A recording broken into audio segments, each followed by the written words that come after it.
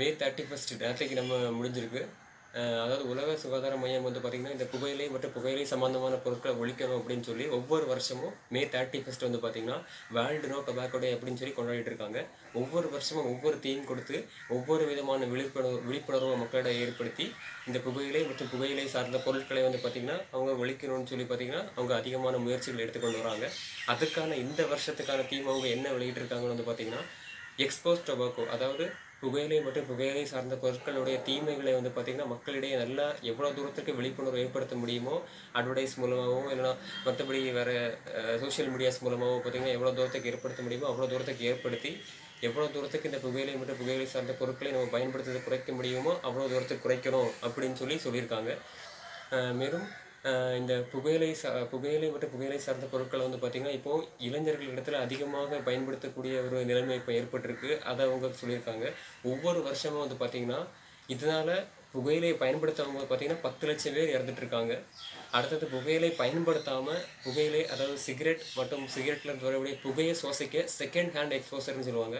அதாவது சிகரெட்டே பிடிக்காதவங்க ஆனால் அந்த புகையை சுவாசிக்கக்கூடிய நிலைமை ஏற்பட்டு நிலைமை ஏற்பட்டிருக்கிறவங்க அவங்க வந்து பார்த்திங்கன்னா அறுபதாயிரம் குழந்தைகள் அதனால உயிரிழக்கிறாங்க அப்படின்னு சொல்லி ஒரு ரிப்போர்ட்டை ஷாக்கிங் ரிப்போர்ட் வந்து இப்போ வெளியிட்டிருக்காங்க.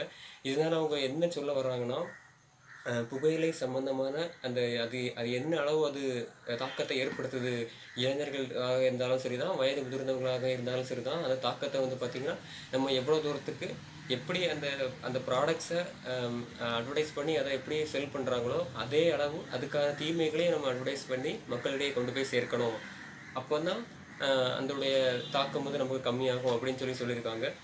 மேலும் வந்து பார்த்திங்கன்னா கேன்சர் அதாவது லங் கேன்சர் அதாவது நுரையீரலேருந்து புற்றுநோய் வர்றதுக்கு பாதி காரணம் இந்த புகையிலை மற்றும் புகையிலை சார்ந்த பொருட்களாக தான் இருக்குது மேலே வாயு கேன்சரில் வர வாயில் கேன்சர் வர்றதுக்கு முக்கால்வாசி காரணம் இந்த புகையிலை மற்றும் புகையிலை சார்ந்த பொருட்களாக தான் இருக்குது அப்படின்னு சொல்லியிருக்காங்க. மேலும் இந்த இந்த நியூஸ் வந்து இந்த மெசேஜ் வந்து பார்த்திங்கன்னா யாரெல்லாம் புகையிலை யூஸ் பண்ணுறாங்களோ அவங்கள்ட்ட கண்டிப்பாக போகணும் அப்படின்னு சொல்லி நான் இந்த வீடியோ ஷேர் பண்ணுறேன் நெக்ஸ்ட் வீடியோவில் வந்து பார்த்தீங்கன்னா புகையிலைக்கு கேன்சருக்கும் என்ன விதமான லிங்க் இருக்குது அப்படின்னு சொல்லி நான் ஷேர் பண்ணுவேன். இல்லை புகையில வந்து பார்த்தீங்கன்னா ஏழாயிரம் கெமிக்கல் அந்த சிகரெட் மட்டும் எல்லா விதமான புகையிலை பொருட்களாக இருந்தாலும் சரி தான் அதில் ஏழாயிரம் கெமிக்கல்ஸ் இருக்குது அதில் வந்து பார்த்தீங்கன்னா எழுபது கெமிக்கல் வந்து பார்த்திங்கன்னா கேன்சரை உண்டாக்கக்கூடியது அப்படின்னு சொல்லி கண்டுபிடிச்சிருக்காங்க.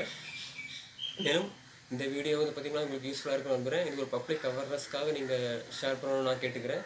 நெக்ஸ்ட் வீடியோவில் வந்து பார்த்தீங்கன்னா ஏன் இந்த புகையிலை யூஸ் பண்ணுறவங்களுக்கு கேன்சர் வருது? அது ஏன் யங் ஏஜில் அது வருமா இல்லை ஓல்டர் ஏஜில் வருமா அப்படின்னு சொல்லி நான் ஷேர் பண்ணுறேன் தேங்க்யூ இந்த வீடியோ யூஸ்ஃபுல்லாக இருந்திருக்கும் நம்புகிறேன் தேங்க்யூ